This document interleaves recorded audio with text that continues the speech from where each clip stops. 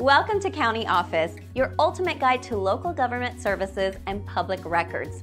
Let's get started. What exactly does the First Amendment protect?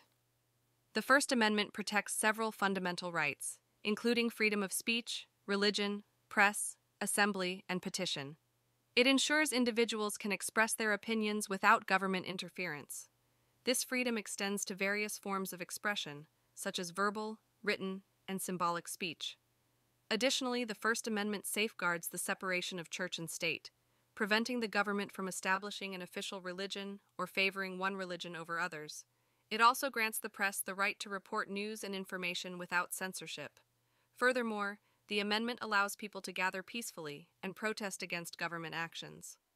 Lastly, it permits citizens to petition the government for redress of grievances, ensuring their voices are heard.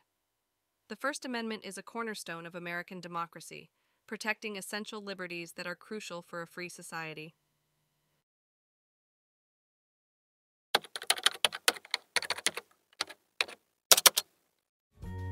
To learn more, check out these links, which you can click in the description below.